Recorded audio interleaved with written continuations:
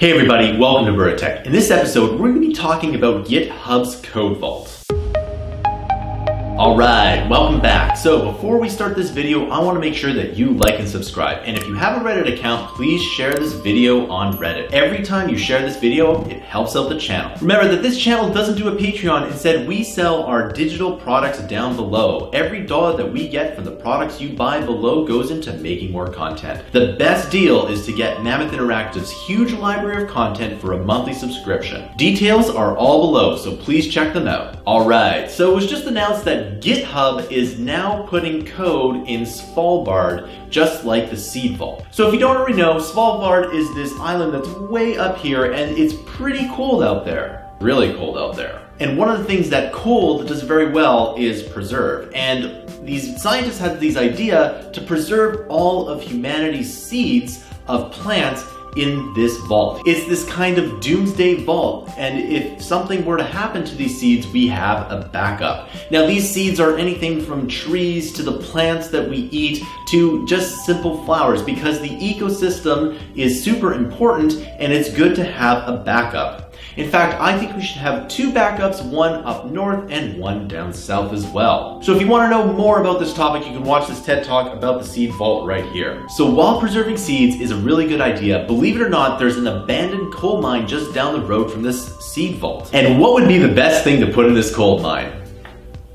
So the people at GitHub thought that it would be good to put all the code that we've produced in this mine here. Again, it's the same concept. We want to store all the things that we've created in a place that is relatively safe. Because Svalbard is so cold, it's a good place to store all of this data. So how much of GitHub are we actually going to store in this coal mine? Well, apparently it's going to be every single repository. This is really important because if we were to lose all of GitHub's repository, I think progress in the coding world would slow down. There are so many coders that rely on GitHub code to get things done that if it weren't there, then it would be a real problem and progress would definitely slow. Another thing we should do is we should put Stack Overflow's content in the same place. So why is code so important to store? Well, imagine if we were in the Industrial Revolution and people had all of these inventions that were simply just lost.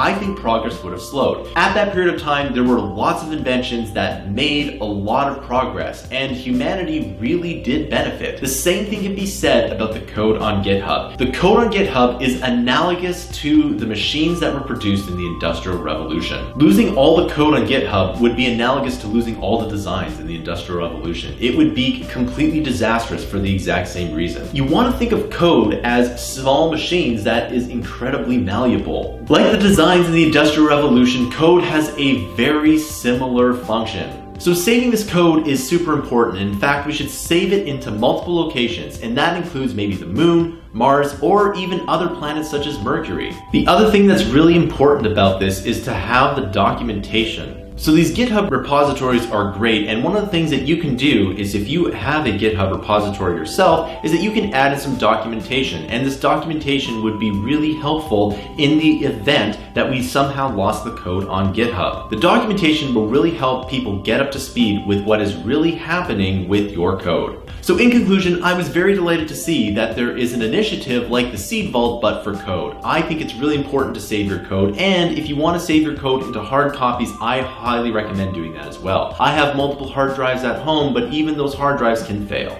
So the lesson here is always back up your stuff. So that concludes this video. Make sure that you like and subscribe, and if you really like this video, please share it on Reddit and other locations. Remember that this channel doesn't do a Patreon, instead we sell our digital products down below. The more content that you buy, the better products we can produce. The best way to help out this channel is to subscribe to Mammoth Interactive's huge library of content. Thanks for listening, I'll see you in another video.